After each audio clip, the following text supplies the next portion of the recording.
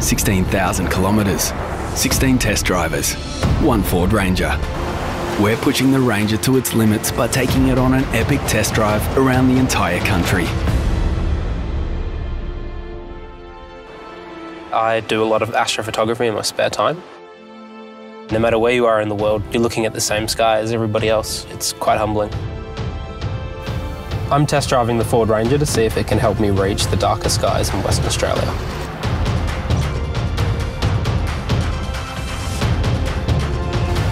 The off-road capabilities of the Ford Ranger allow me to get to places that would otherwise not even be an option for me.